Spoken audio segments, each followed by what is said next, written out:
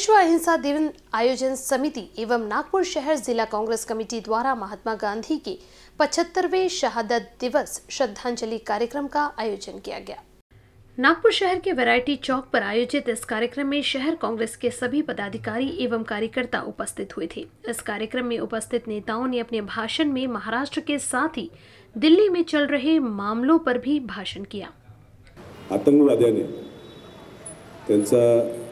अतिशय हिंसक असा खून या तारखेला तीस तारखेला केला होता.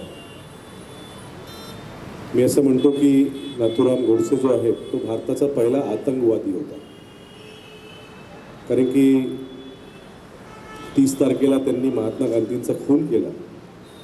पण त्याच्या काही दिवसाआधी त्यांनी त्याच ठिकाणी महात्मा गांधींवरती एक बॉम्बसुद्धा फोडला होता पण तो त्यांचा जो एक प्रयोग होता बॉम्ब फोडून महात्मा गांधींचा खून करण्याचा.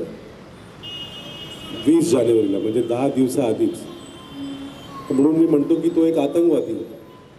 कारण की एक आतंकवादीच बॉम्ब फोडतो बंदूक घेऊन लोकांवरती घोळा झाडतो आणि त्या आतंकवाद्यांनी जेव्हा महात्मा गांधींचा खून केला तर ज्या माणसाचा कोणाचा खून केला की ज्यांनी जगामध्ये अहिंसाचा संदेश दिला अहिंसेच्या माध्यमातून आपल्या देशाला स्वातंत्र्य मिळवून दिलं. आणि त्यांचा मृत्यू तरी कसा असावा अतिशय हिंसक. मुक्तमार साहेब तुम्हाला सांगतील पण अतिशय हिंसक मृत्यू कारण की पॉईंट ब्लँक रेंजवरनं त्यांना तीन गोळ्या त्यांच्या छातीमध्ये डागण्यात आल्या. अतिशय हिंसक मृत्यू होता. एनबीसी न्यूज के लिए कैमरा पर्सन राजकुमार मोहड़ के साथ अभिषेक पांसे की रिपोर्ट